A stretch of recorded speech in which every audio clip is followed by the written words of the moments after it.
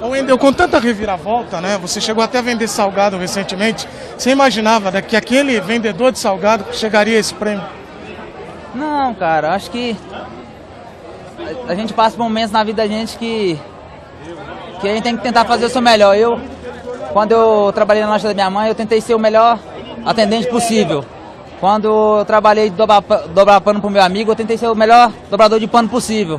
Quando eu tô dentro de campo, eu tento fazer aquilo que eu sou o melhor possível. Então, assim, acho que na vida da gente, não só no, no, no futebol, mas é no, no, emprego que todos nós temos, tem que dar o melhor porque aquele que trabalha, aquele que é justo, uma hora Deus abençoa, pode demorar, mas ela chega.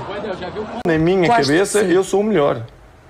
Sim. Se não pensarmos assim, o ser humano, se você não pensar que na sua profissão você é o melhor, se ele não pensar que na sua profissão é o melhor cameraman, se ele não pensar que é o melhor representante da Nike, não temos ambição. Eu Sim. tenho que pensar na minha profissão e sou o melhor.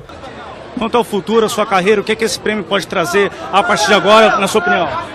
Cara, eu acho que essa, essa, esse prêmio pode render muitos frutos, mas vai depender de mim. Eu acho que ele abriu as portas, a pressão aumenta, a visibilidade aumenta, e com isso eu tenho que treinar mais, eu tenho que me esforçar mais.